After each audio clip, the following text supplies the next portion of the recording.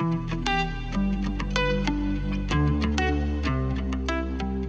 this is Reggie with Vista Social's product team. This video is going to be focused on videos and creating thumbnails for your videos. One way to do it is right here in the media library. You can select your video and click on pick a thumbnail. Now you can do the same thing right here from the composer. Maybe you've already started crafting your post. You'll do the same thing, pick a thumbnail here for your video. You get to the same place. Now you have a couple of options. One is that you can scroll through the video, get to a frame that you really like, and you can click here, choose frame from the video.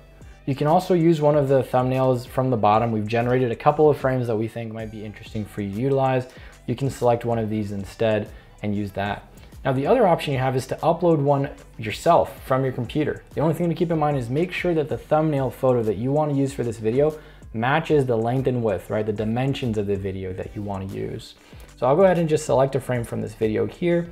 I'll choose this frame and I'll click save.